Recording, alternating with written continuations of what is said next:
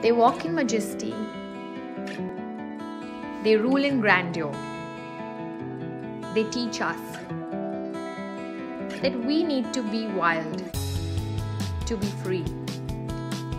This World Wildlife Day, I go back to the jungle I just returned from and pray for all the magnificent creatures that call it home. May we be jungly in the ways that really matter.